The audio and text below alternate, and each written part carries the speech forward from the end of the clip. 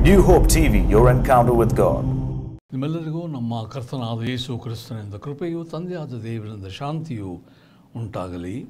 ನಮ್ಮ ಧ್ಯಾನಕ್ಕಾಗಿ ಸಂತ ಪೌಲನು ತೀತನಿಗೆ ಬರೆದ ಪತ್ರಿಕೆಯಲ್ಲಿ ಮೊದಲನೇ ಅಧ್ಯಾಯ ಹತ್ತು ಹನ್ನೊಂದು ವಚನಗಳನ್ನು ಓದುತ್ತೇನೆ. ಅನೇಕರು ಬರೀ ಮಾತಿನವರಾಗಿಯೂ ಮೋಸಗಾರರಾಗಿಯೂ ಇದ್ದು ಅಧಿಕಾರಕ್ಕೆ ಒಳಗಾಗದವರಾಗಿದ್ದಾರೆ. ಅವರೊಳಗೆ ಹೆಚ್ಚು ಜನರು ಸುನ್ನತಿಯವರು. ಅವರು ನೀಚ ಲಾಭವನ್ನು ಹೊಂದುವುದಕ್ಕಾಗಿ ಮಾಡಬಾರದ ಉಪದೇಶವನ್ನು ಮಾಡಿ ಕುಟುಂಬಗಳನ್ನು ಹಾಳು ಮಾಡುತ್ತಾರಾದದರಿಂದ ಅವರ ಬಾಯಿ ಮುಚ್ಚಿಸಬೇಕಾಗಿದೆ ಎಂಬುದೇ. ಈ ಎರಡು ವಾಕ್ಯಗಳಲ್ಲಿ ಪೌಲನ್ನು ಎರಡು ವಿಧದ ಸ್ವತಂತ್ರದ ಬಗ್ಗೆ ಮಾತನಾಡ್ತಾನೆ. Paul talks about in these verses two kinds of freedom ಮಾನವರಾದ ನಾವೆಲ್ಲರೂ ದೇವರ ಸಾರೂಪ್ಯದಲ್ಲಿ ಸೃಷ್ಟಿಸಲ್ಪಟ್ಟವರಾಗಿದ್ದೇವೆ. ಆ ದೇವರ ಸಾರೂಪ್ಯದ ಒಂದು ಮುಖ ಅಥವಾ ಒಂದು ಭಾಗ ಏನಂದರೆ ನಮಗಿರುವಂಥ ಸ್ವಯಂ ಶಕ್ತಿ ಅಥವಾ ಸ್ವಯಂ ಚಿತ್ತ, ಸ್ವಪ್ರೇರಣೆ. ಅಂದರೆ ಏನು? ನಾವು ನಮಗೆ ಬೇಕಾದದನ್ನು ಆರಿಸಿಕೊಳ್ಳಬಹುದು. ಬೇಕಾದದ್ದನ್ನು ನಾವು ಮಾಡಬಹುದು, ಬೇಕಾದದಲ್ಲಿ ನಾವು ಹೋಗಬಹುದು. ಏನು ಮಾಡುವ ಸ್ವತಂತ್ರತೆ ನಮಗಿದೆ. ಇದೊಂದು ದೇವರ ಗುಣಲಕ್ಷಣ. We human beings are created all of us in the image of God one aspect of God's image is free will as human beings, we have freedom, we have free will. We can do what we want to do, we choose what we like to choose. We can go where we want to go, we can do what we want to do.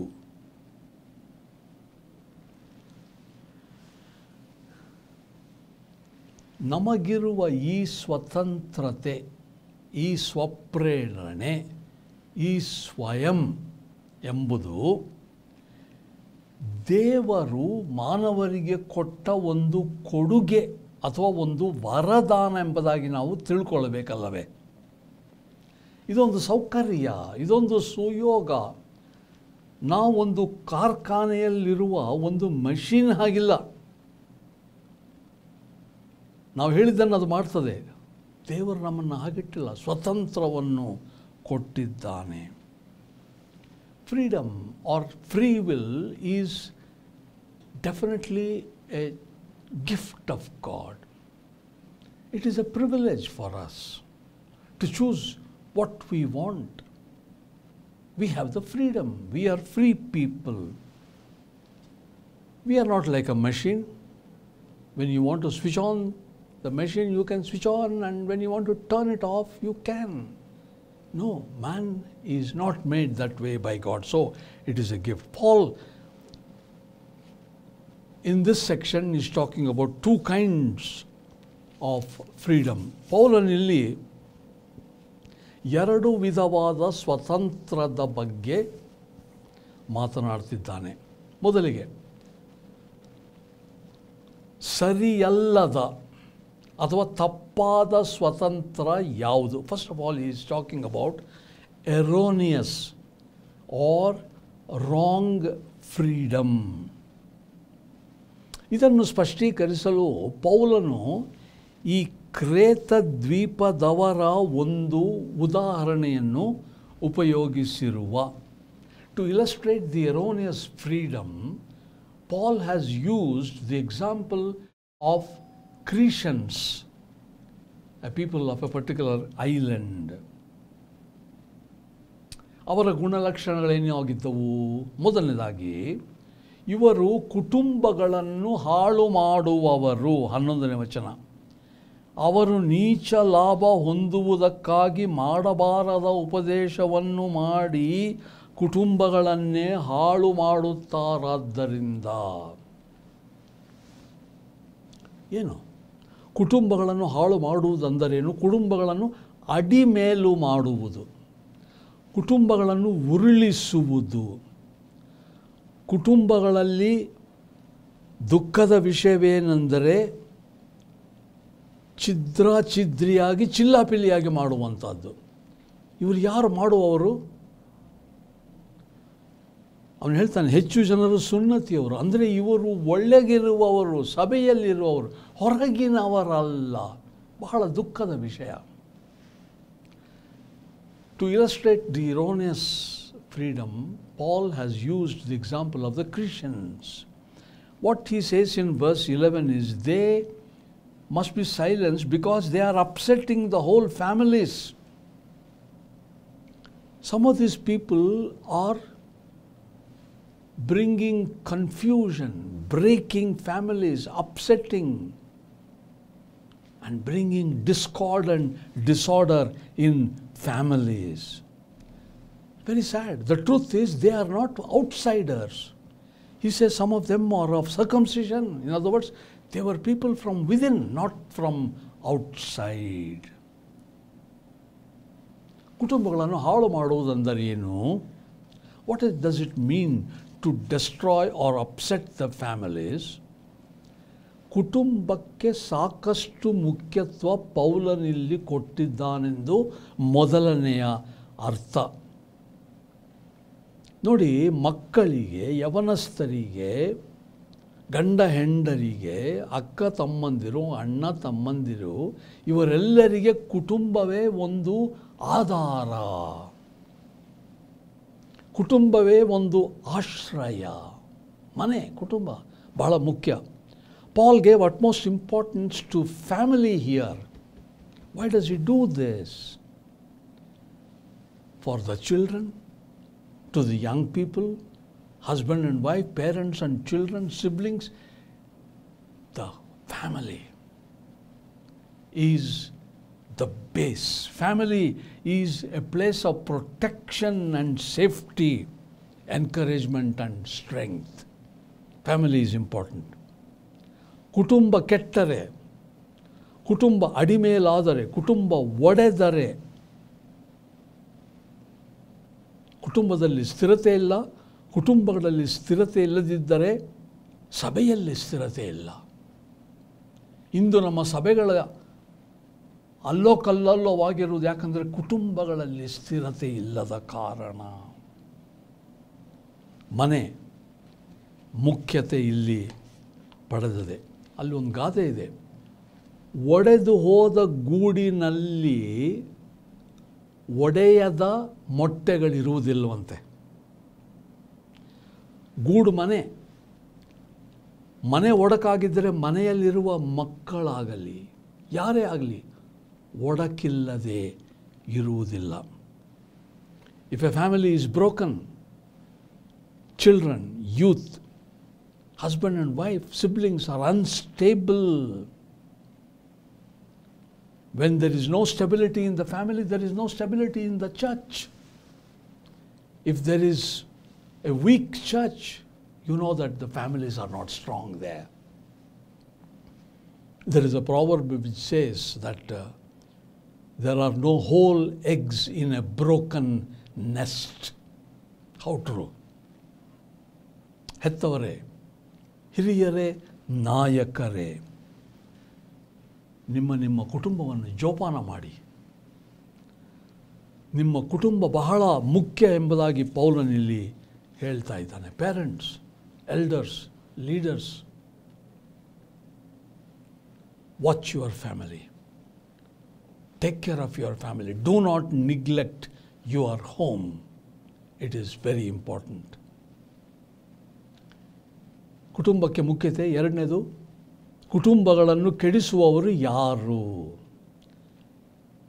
Families are important but who upsets the families ಹನ್ನೊಂದನೇ ವಚನದಲ್ಲಿ, ನೀಚ ಲಾಭಕ್ಕೆ ಅವರು ನೀಚ ಲಾಭವನ್ನು ಹೊಂದುವುದಕ್ಕೆ ಮಾಡಬಾರದ ಉಪದೇಶವನ್ನು ಮಾಡಿ ಕುಟುಂಬಗಳನ್ನು ಕೆಡಿಸುತ್ತಾರೆ, ಹಾಳು ಮಾಡ್ತಾರೆ.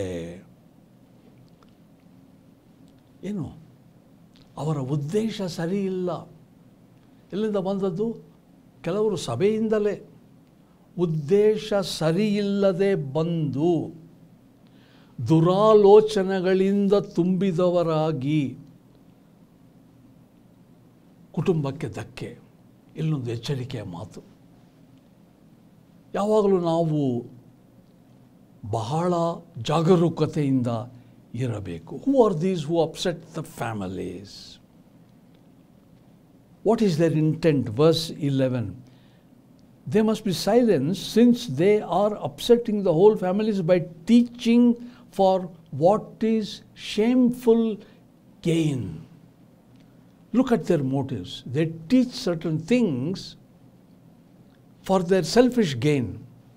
What kind of things they teach? Teaching shameful things which they ought not to teach. Ultimately, they have gain in their mind, profit in their mind. This is a warning for every Christian family. We have got to be careful about people who come to disrupt the Christian family.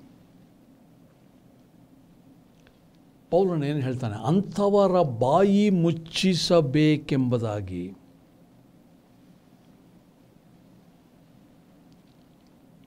ಅವರೊಳಗೆ ಹೆಚ್ಚು ಜನರು ಸುನ್ನತಿಯವರು, ಅವರು ನೀಚ ಲಾಭವನ್ನು ಹೊಂದುವುದಕ್ಕೆ ಮಾಡಬಾರದ ಉಪದೇಶಗಳನ್ನು ಮಾಡಿ ಕುಟುಂಬಗಳನ್ನು ಹಾಳು ಮಾಡುತ್ತಾರಾದ್ದರಿಂದ ಅವರ ಬಾಯಿ ಮುಚ್ಚಿಸಬೇಕಾಗಿದೆ.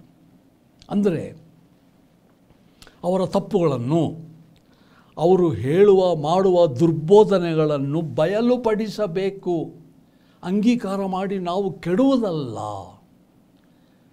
ಅವರ ತಪ್ಪು ಬಯಲುಪಡಿಸಬೇಕಂದ್ರೆ ನಮಗೆ ಸರಿ ಯಾವುದೆಂಬ ತಿಳುವಳಿಕೆ ಇರಬೇಕಲ್ವೇ? ದೇವರ ವಾಕ್ಯ. ಅವರನ್ನು ಖಂಡಿಸಬೇಕು ನಾವು. ಇಂತಿಂಥದ್ದು ಮಾಡುವುದು ಸರಿಯಲ್ಲ ಎಂಬುದಾಗಿ, ಅವರ ಬಾಯಿ ಮುಚ್ಚಿಸಬೇಕೆಂಬುದಾಗಿ ಹೇಳ್ತಾನೆ. ಹೀಗಾಗಿ ಕುಟುಂಬಗಳು ಕಾಪಾಡಲ್ಪಡಬೇಕು. ಇಂದು ನಮ್ಮಲ್ಲಿ ಅನೇಕ ತಪ್ಪು ಬೋಧನೆಗಳು ಹೊಕ್ಕಿವೆ ಕುಟುಂಬಗಳಲ್ಲಿ. ಪೌಲನ್ ಹೇಳ್ತಾನೆ, ಅಂಥವರ ಬಾಯಿ ಮುಚ್ಚಿಸಬೇಕಾಗಿದೆ.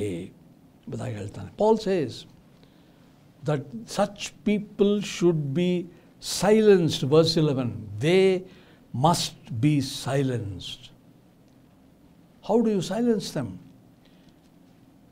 you have to talk about what wrong things they are doing. Criticize them, bring them to light, discuss with people who are like minded in the church and bring to light their wrongdoings. They must be silenced. Their error should be exposed and they should be publicly criticized. Only then the families the church families will be saved and the false teachings will be suppressed. ನಾವು ಈಗಾಗಲೇ ಗಮನಿಸಿದಂತೆ ನಮಗೆ ಸ್ವಚಿತ್ತ ಸ್ವತಂತ್ರತೆ ದೇವರು ಕೊಟ್ಟಿರುವ ನಮ್ಮ ಆಯ್ಕೆಗಳು ಸರಿ ಆಯ್ಕೆಗಳ ನಾವು ಆರಿಸುವಂಥವು ಒಳ್ಳೆವುಗಳಾಗಿದೆಯಾ ಎಷ್ಟು ಅಗತ್ಯ ಆಲೋಚನೆ ಮಾಡೋದು. ಸ್ವಚಿತ್ತ ಇದೆ, ಏನು ಬೇಕಾದರೂ ಮಾಡಬಹುದು, ಆದರೆ ಆಯ್ಕೆ? We have already observed earlier that we are created in the image of God and and we have the free will to choose anything to do anything what about our choices are we making right choices correct choices how important it is in relation to the family. Our choices are important ನಮ್ಮೆಲ್ಲರಿಗೆ, ಸಭೆಯ ಏಳಿಗೆಗೆ, ಕುಟುಂಬಗಳ ಏಳಿಗೆಗೆ ಎಷ್ಟು ಮುಖ್ಯ ಎಂದು ಪೌಲನಲ್ಲಿ ಕುಟುಂಬ, ಮನೆ ಇದರ ಬಗ್ಗೆ ಒತ್ತಿ ಹೇಳಿರುವ ಪ್ರಿಯ ವಿಶ್ವಾಸಿಗಳೇ, ಪ್ರಿಯ ಹಿರಿಯರೇ, ನಾಯಕರೇ ನಿಮ್ಮ ಕುಟುಂಬವನ್ನು ಜೋಪಾನ ಮಾಡಿ ಎಷ್ಟು ಮುಖ್ಯ ಕುಟುಂಬವನ್ನು ಜೋಪಾನ ಮಾಡುವುದು for spiritual progress Paul has emphasized the importance of the family. He emphasizes the sanctity of the family of the believers, of the elders, of the leaders of the church. Take care of your family. Family is of utmost importance. ಹೇಗೆ ನಮ್ಮ ಕುಟುಂಬದಲ್ಲಿ ಮೊಟ್ಟ ಮೊದಲನೇದಾಗಿ ಪ್ರಭುವಾದ ಯೇಸು ಕ್ರಿಸ್ತನಿಗೆ ಪ್ರಥಮ ಸ್ಥಾನ ನಾವು ಹೇಳ್ತೇವಲ್ಲ, ಹೊಸದಾಗಿ ಮದುವೆ ಆಗೋ ಮದುಮಕ್ಕಳಿಗೆ ಏನು ಹೇಳ್ತೇವೆ ನಿಮ್ಮ ಜೀವನದ ನಡುವೆ ಯೇಸು ಕ್ರಿಸ್ತನಿರಲಿ how do we do it? How do we keep the family intact, maintain the sanctity of the family? By bringing Jesus Christ into the very center. Don't we tell the young married couples, you are both now united, make Jesus the very center of your marriage. ನಮ್ಮ ಬಾಳಿನ ಕೇಂದ್ರ ಬಿಂದು ಯಾರು? ನಮ್ಮ ಕುಟುಂಬದ ಕೇಂದ್ರ ಬಿಂದು ಯಾರು? ಯೇಸು ಕ್ರಿಸ್ತನೇ ಆಗಿರಬೇಕು.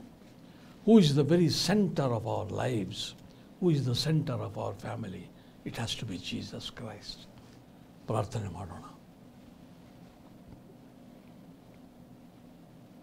ನಮಗೆ ಸ್ವತಂತ್ರ ಕೊಟ್ಟಂಥ ಯೇಸು ಕ್ರಿಸ್ತನೇ, ತಂದೆಯಾದ ದೇವರೇ, ಪವಿತ್ರಾತ್ಮನಾದ ದೇವರೇ